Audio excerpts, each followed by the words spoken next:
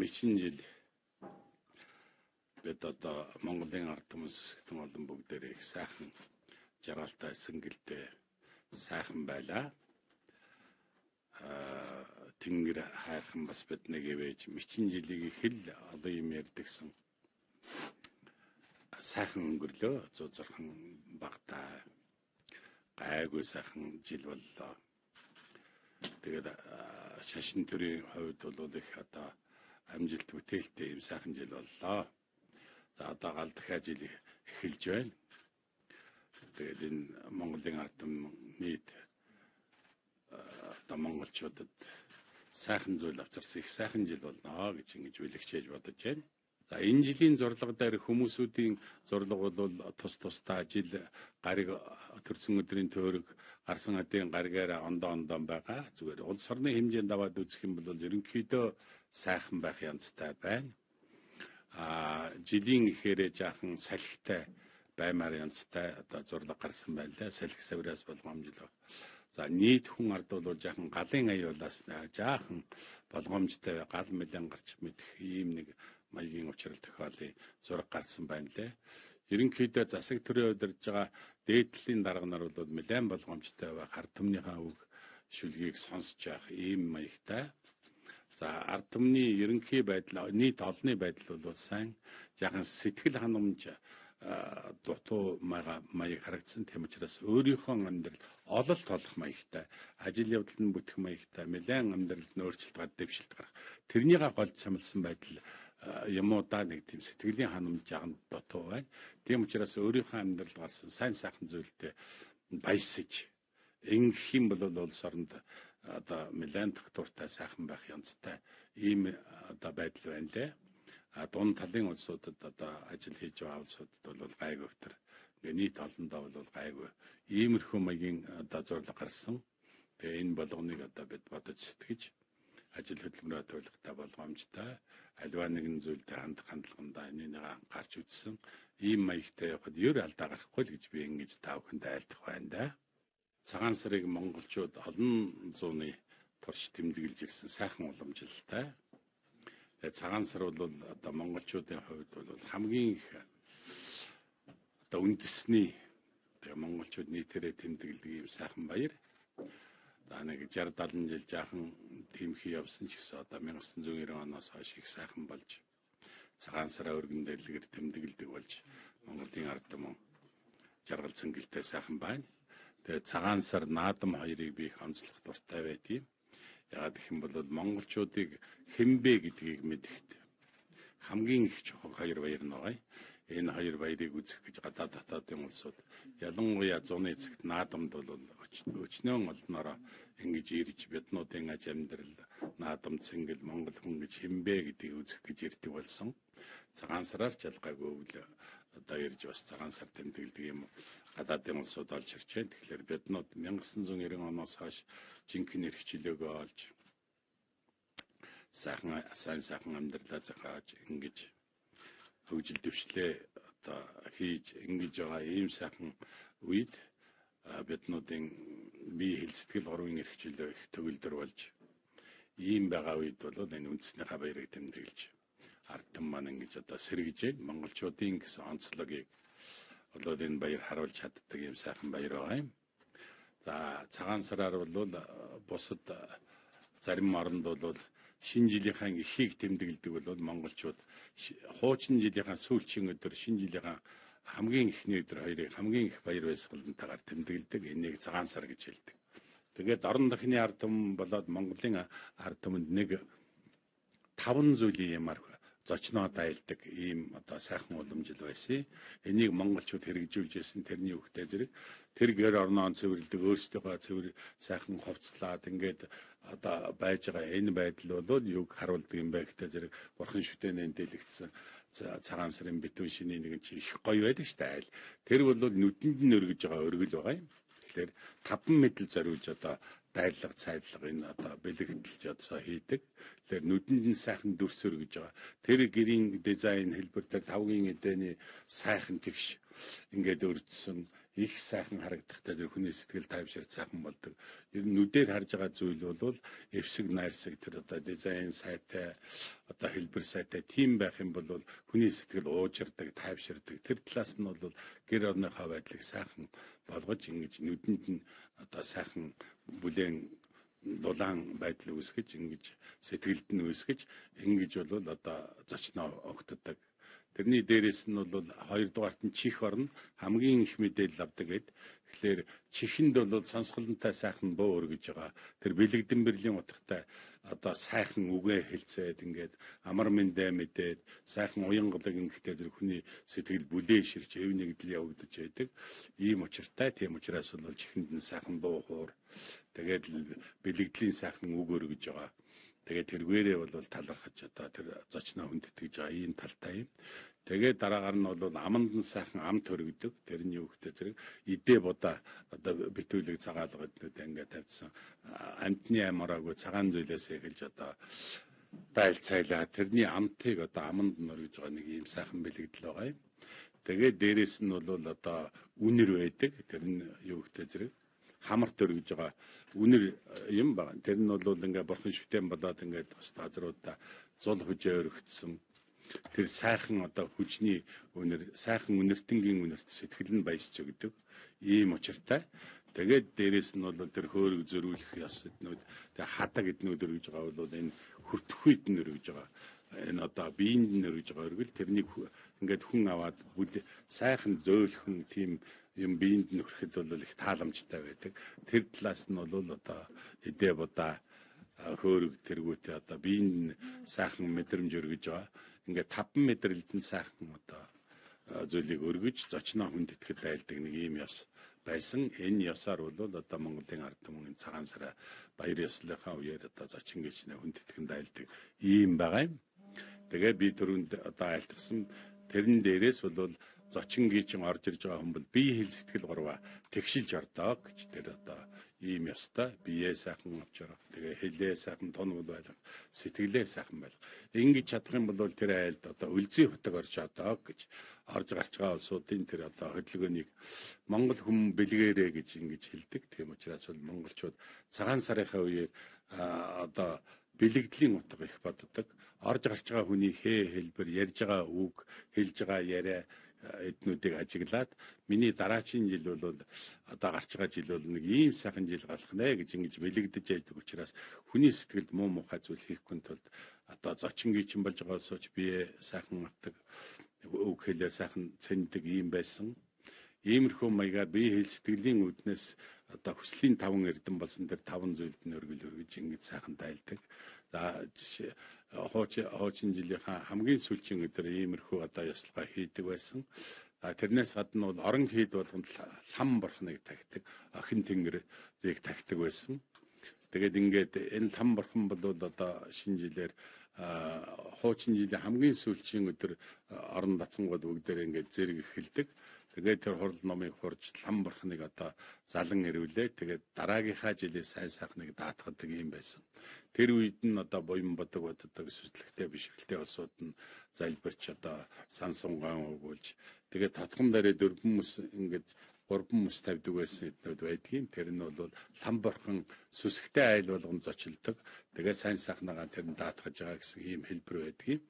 Тэгээ одоо бол Балкан эднүүдээрээ тавьдаг болж байгаа иймэрхүү маягийн ясалгаа хийдэг. Тэгээд лам бурхандаа залбираад өнгөрсөн жилийнхаа гим алдаа юу байгааг нь наманчлаад хойд жилд бол сайн сайхан байхаа ингээд даатгадаг юм одоо сайхан уламжлалтай байсан да.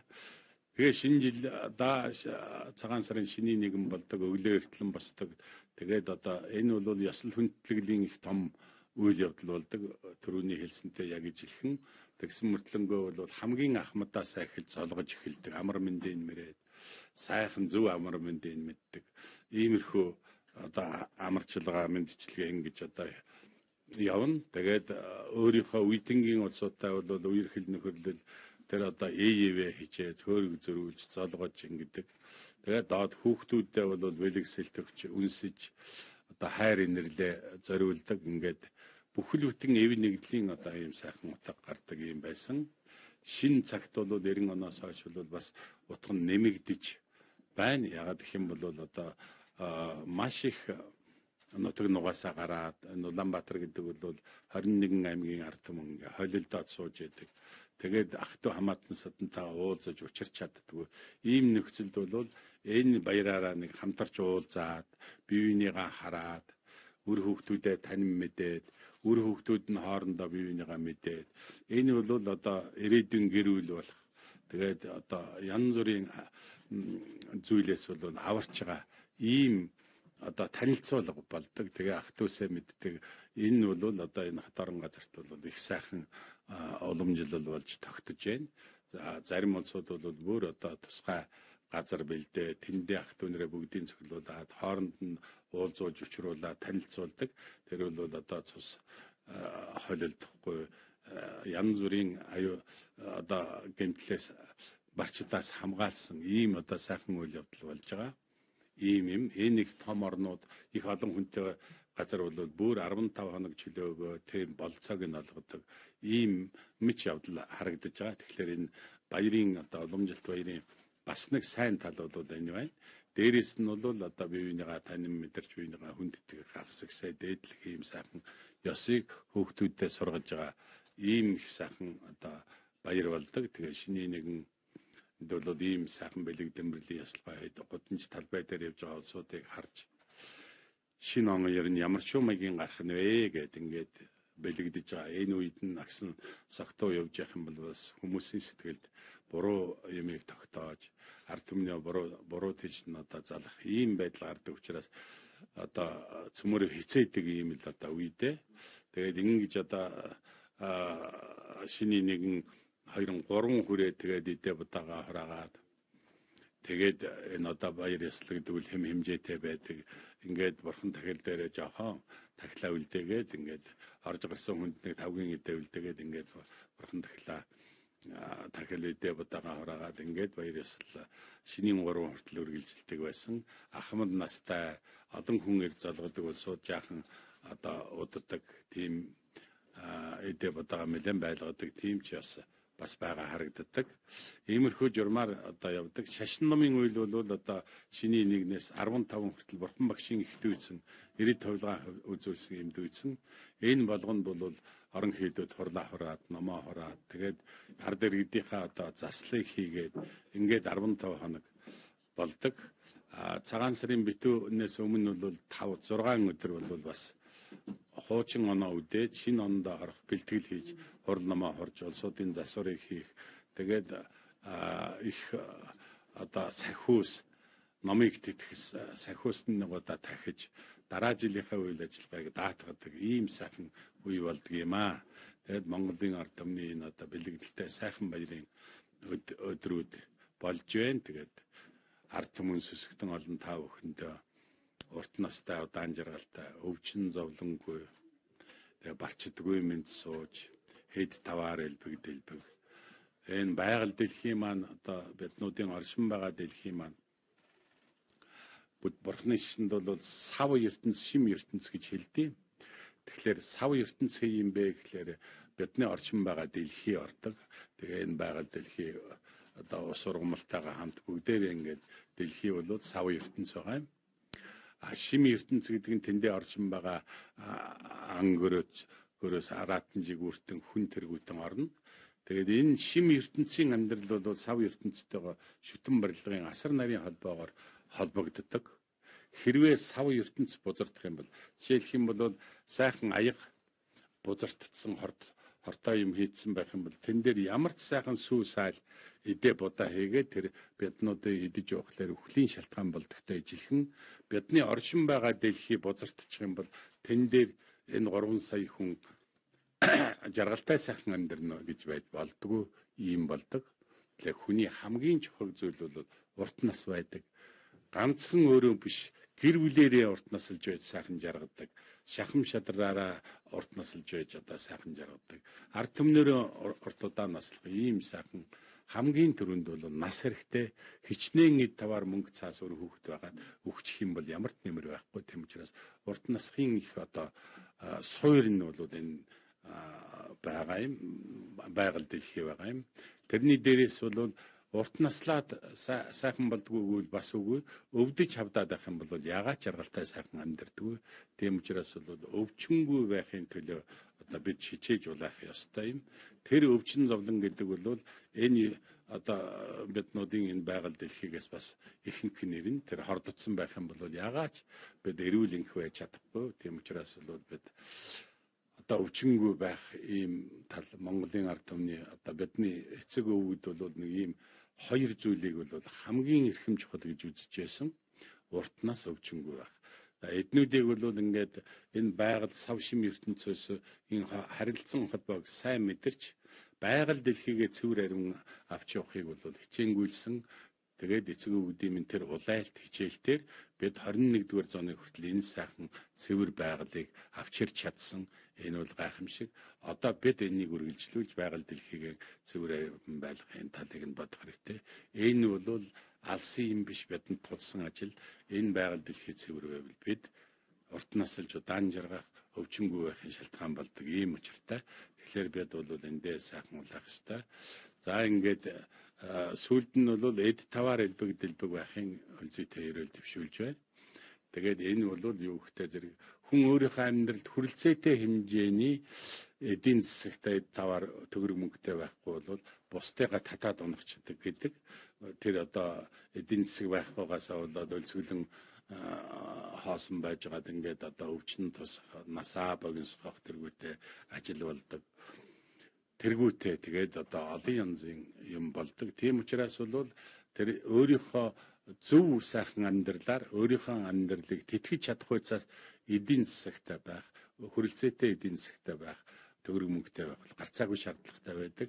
Энэ дөрвөн зүйлийг бол Монголын ард түмэн бол одоо сайхан бодож ирсэн. Бурхан шүтээнд энэ дөрвийг одоо шүтэн залбирдаг бурхтууд нь байдаг ийм байжээ. Тэгээд та бүхэндээ одоо дөрвөн зүйл энэ монголчуудын одоо эрхмэлэн дүгээс нэг дөрв таван зүйл байна. Урт нас байна, өвчин зовлонгүй байх, барчдаггүй мэд суух гэж бас байд юм. Тэр барчд гэдэг бол биднүүдийн амьдралын зохисгүй шалтгаанууд. Жишээлх юм бол одоо зохисгүй шалтгаан гэдэг юу ордог гэхээр болгоомжгүй байгаад аюул аваарт орох хөл гараа гэмтэйгч байт юм бүр аюул аваар бас бол хэцүү. Тэгээд дээрэс нь хэрүүл хараална. Гэртээ сайхан эв зохицолтой байгаа энэ байдал бол амьдралын зохис шалтгаан болдог. Хэрүүлтэй байгаа нь зохисгүй шалтгаан болдог. Тэгээд энэ байдлыг бий болгохын тулд бурхан багш айлдахтаа бол таны хүрээлэн байгаа гэр бүл болоод өөртөө чинь харьцаж байгаа хүмүүсүүд ямар шоу янзтай тань руу хандаад байгаа тэр таныг тодорхойлж байгаамаа гэж. Жишээлх юм би хүнийг дээрлэх гэдэг тэр би хаагаараа сүрхий ингээд дээрлэх гээл нэг атаман царай гаргаад ингээд эхлэх юм бол тэр над руу ирж байгаа ертөнц яг л тийм болоод ирдэг. Тэрэнд дийлдэхгүй дандаа л ингэж яадаг дээрлэгч яадаг. Яа энэ энтэй үзэлцэнэ гэсэн маягтай.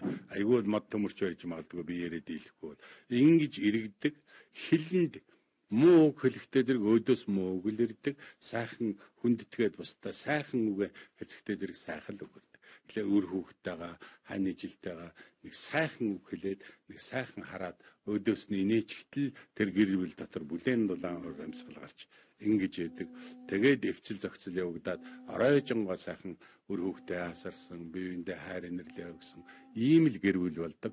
Тэхгүй нэгэндээ л жоохон эвгүй үг хэлээд эвгүй дуграал биеийн эвгүй заналт байдал одоо эвгүй байдал үүсэх юм бол тэр гэр бүл тэр чихтэл тэр өдрөө өнгөрөөгөөд шөндөө хэрэлдээ юу ч болж мэдэх юм одоо аюултай байдаг. Тийм учраас бурхан багш бол өөрийнхөө хамгийн түрүүнд өөр рүүгээ хар гэдэг бол энэ юм. Өөрийнхөө байдлыг засглаар гадна талын над руу харьцаж байгаа ертөнц хүмүүсүүд зөөлрөөд л ирдэг. Ийм аран шинг бурхан багш нээж олж бидэнд айлтсан. Тийм учраас энэ ясаар одоо явах хэвээр ингэж барчтаас хамгаалж өөрийнхөө амьдралыг зохисгүй шалтгааныг хайж явдаг. Тэгээд энэ барчдаггүй мэд суух, тэгээд эд таваар элбэг дэлбэг байх, сав шимийн ертөнц манд дэлгэрч явах. Ийм таван сайхан зүйлийг бас амьдралдаа хэрэгжүүлэх учиртай. Энэ цагаан сарын эхний өдрийг ингэж эрхвлэн чухалчилдаг бол энэ бүх зүйлүүдийг 365 хоногт цааш нь үргэлжлүүлж авч явж ингэж сайхан амьдарцгаая л гэсэн одоо манай баярын хамгийн гол утга нь эндээ орчиж яадаг. Тийм учраас та бүхэндээ одоо сайн сайхныг айлтгаж байна. Тэгээд урт настай удаан жаргалтай өвчин зовлонгүй барчдаггүй мэд сууж. эд таваар элбэг дэлбэг үр хөөхд өнөр өтгөн сайн сайхан бахын үлзэтэй ярилэг төвшүүлье. Thank you